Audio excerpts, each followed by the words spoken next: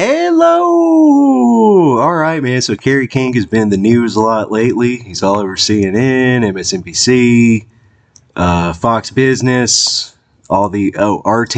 I've seen him on there. Lots of stuff, man. And, uh, pumping up his new, uh, solo record that no one really gives a fuck about. Uh, I saw this fucking.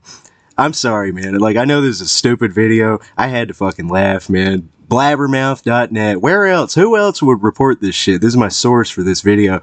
I saw this uh, headline. Kerry King says, I lost 10 pounds, not even trying. I I don't know if you guys will think it's funny, man, but I thought that's a funny fucking like a journalist got paid to write this, dude. I mean, God, I'm not even getting paid. I'm talking about it, man. So I guess who's the who's the fucking idiot here?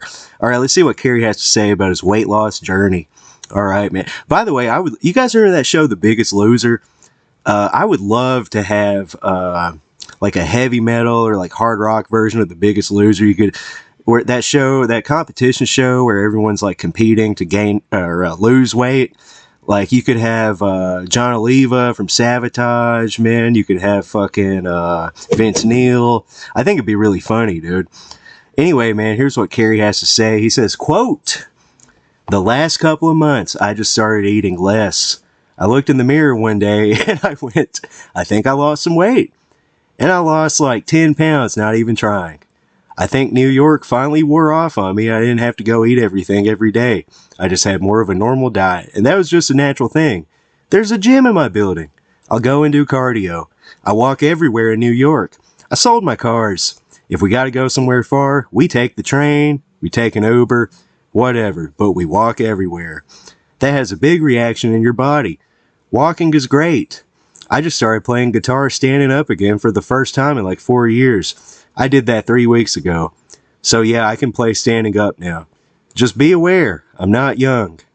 My guitars are extremely heavy. All right, great reason to write a fucking news article, man. I figured I had to report on that. Uh, comment below, man. Tell us about your weight loss journey, man. Are you trying to lose weight? Uh, did you used to be fat and now you're losing weight? You know, I actually, uh, not that anyone gives a fuck about me, but last year, man, I actually, uh, uh, I stopped eating fast food.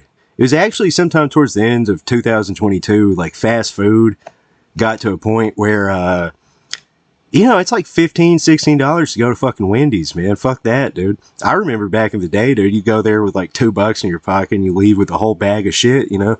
You'd be full for like a day or two, you know?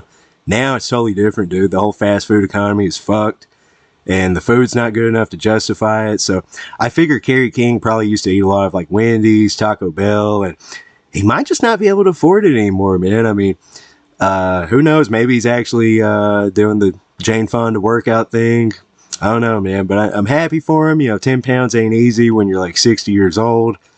Uh, I lost like, fuck, man, I went from like 210 to around 160, man. And then 160, dude, I was starting to look a little fucking emaciated. I was looking like one of those heroin punk rock, you know, heroin chic type people. And so I actually, I've actually been uh, drinking a little more to kind of bulk up a bit, you know, get back more comfortable, more comfortable around 170, you know. So let us know in the comments, man, what's your preferred weight? Uh, and you know, hats off to Kerry King, man. Have a great night.